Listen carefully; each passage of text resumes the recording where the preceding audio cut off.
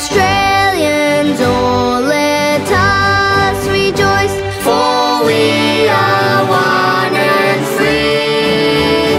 We've gold and soil and wealth for toil. Our home is good by sea. Our land abounds in nature's gifts of beauty